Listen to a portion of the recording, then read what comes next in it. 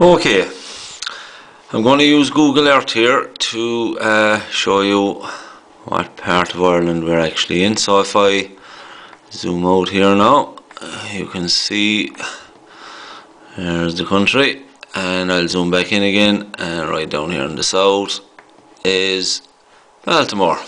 See it coming up there. So a couple of nights ago I went for a sail with my son and I done a few videos on it. I think about six in total. They're about two minute clips. Uh, we had a great night actually, thoroughly enjoyed it. Um, if you can see the hand there now, that's where our boat is moored.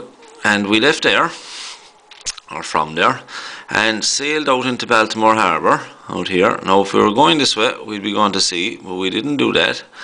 We went out here we call this the sound and we went down the sound uh, this here is the river leading up to Skibbereen. It's the Ilen river. We didn't go that way either.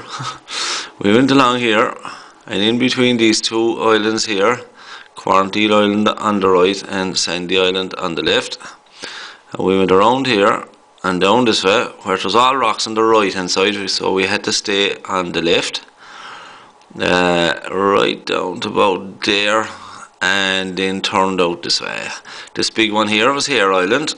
I talk about that in the videos. Kept to the right hand side down here. Oh yeah, by the way, this is Sherkin Island. This big one here. And I also mentioned that in the, in the video clips. Uh, sail down here where there's all rocks and foul ground around there.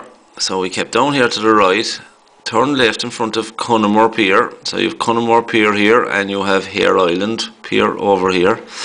And we kept over to the side, uh, sailed out here. Uh, this is little one here that the hand is on, Goose Island, that's called. Uh, you'll know that from the video clips when you see them. Uh, rounded that out onto Roaring Water Bay and sailed down here and right down here at the end is Jeremy Irons' castle. It's a lovely spot altogether down there. So we turned around in and just basically done the return trip home around Goose Island, around by Cunnamore, back this way, down the sound here to Turk Head, in between our two islands, back into the harbour again, and it was dark by the time we made it back into Baltimore, which was a lovely finish to the trip, really. So over the next few nights I will upload a video every night. Uh, about two minutes long. And uh, just show you that area. It's a beautiful part of the country really. So I'll just zoom back out there now again. And that's where we are. So okay. Bye for now and I hope you enjoy the videos